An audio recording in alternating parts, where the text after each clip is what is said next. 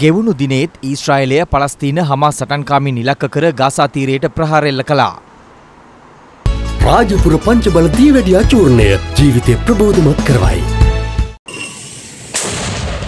ගත වූ පෑ විසිහතර තුළ ගාසා තීරයට එල්ල වූ ගුවන් ප්‍රහාරවලින් පුද්ගලයන් හත්සේයක් මේ ගොස් ඇති අතර ඉන් තුන්සිය පස් දෙනෙකු ළමුන්.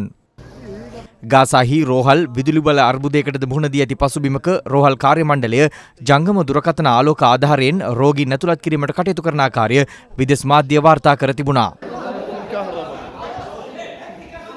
I'm at Al Nasser Hospital right now. There are 80 premature babies, and they, literally the lives of these babies depends on electricity and fuel.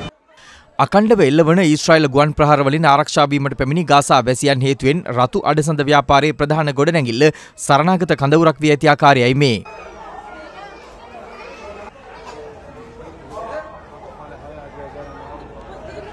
Gaza තීරයට මානුෂීය ආධාර මේ වන විට ලැබෙමින් පවතින අතර ජාත්‍යන්තර සිවිල් සංවිධාන එම ආධාර බෙදා හැරීම්වල නිරත වනවා.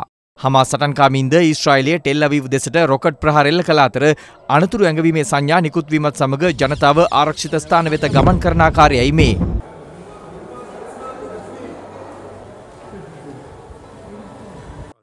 මේ අතර ඊශ්‍රයිලය සහ පලස්තීනය කඩිනමින් සටන් විරාමයකට යොමු යුතු බවට මැද පෙරදිග රටවල නියෝජිතයන් එක්සත් ජාතීන්ගේ ආරක්ෂක මණ්ඩලයේදී ඉල්ලා සිටියා.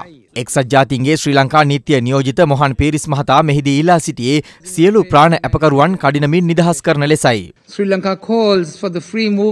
ශ්‍රී ලංකාව සියලු පාර්ශවවලින් ඉල්ලා සිටිනවා ආහාර ජලය ඖෂධ සහ ඉන්ධන වැනි මානුෂීය සැපයුම් කඩිනමින් ගාසා වෙත ලබා දීමට මැදිහත් වෙන ලෙසට ඒ වගේම මෙම ගැටුම් වහම නවතා සිවිල් ජනතාවගේ ආරක්ෂාව සහතික කරන ලෙසට අපි දෙපාර්ශ්වයෙන්ම ඉල්ලා සිටිනවා. ත්‍රස්තවාදය අපි මුළු මුලින්ම හෙලා දකිනවා. සිවිල් ජනතාව ඉලක්ක කර එල්ල වෙන ප්‍රහාර සහ ගැටුම් ශ්‍රී ලංකාව දැඩිව හෙලා දකිනවා. එමෙන්ම අපි ඉල්ලා සිටිනවා සියලු ප්‍රාණ ඇපකරුවන් කඩිනමින් නිදහස් කරන ලෙසට. release of all hostages taken into Gaza.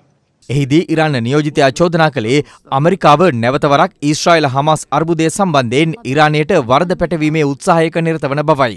The US Secretary of State once again attempt to wrongly place the blame on Iran. Iran categorically reject these groundless allegations. Our commitment to the regional peace and stability remains unwavering. I'm deeply concerned ගාසාතීරයේ දකින්නට ලැබෙන ජාත්‍යන්තර මානුෂීය නීති උල්ලංඝනය කිරීම පිළිබඳව මම දැඩි කනස්ථලට පත්ව සිටිනවා. මම පැහැදිලිව කියන්නම් සන්නද්ධ ගැටුමකට සම්බන්ධ කිසිම පාර්ශවයක් ජාත්‍යන්තර මානුෂීය නීතියට ඉහළින් නැහැ. national humanitarian law. කෙසේ වෙතත් මෙම අවස්ථාවේ සටන් විරාමයකට අවතීර්ණ වීම හමස් සංවිධානයට වාසිදායක වනු ඇති බවටයි ඇමරිකාවේ ස්ථාවරය වී ඇත්තේ. මේ අතර ඊශ්‍රයිල් ආරක්ෂක ප්‍රධානියා පවසන්නේ ගාසා තීරයේ ගොඩබිම් මෙහෙයුම් සඳහා සියල්ල සූදානම් බවයි.